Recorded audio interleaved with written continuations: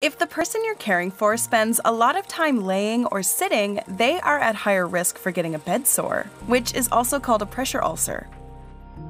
In this video, we'll show you some ways that you can help stop pressure ulcers from forming. Start off by keeping their skin clean and dry. Check over their skin daily for any red areas, especially over bony areas like their elbows, heels, or hips.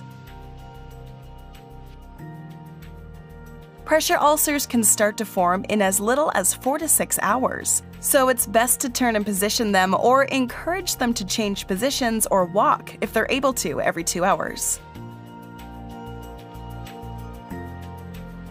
Use pillows behind their back and between their knees in bed to help them stay off any areas that are becoming red or to help them stay in a new position.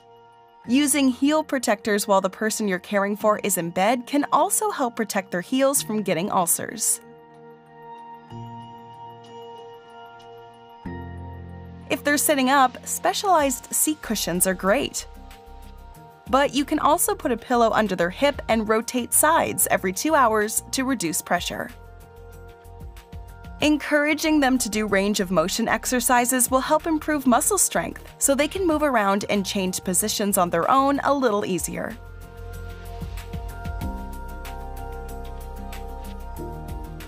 A diet high in protein can also help prevent and heal pressure ulcers because protein helps build and repair muscle and skin tissue. If the person you're caring for hasn't been eating well,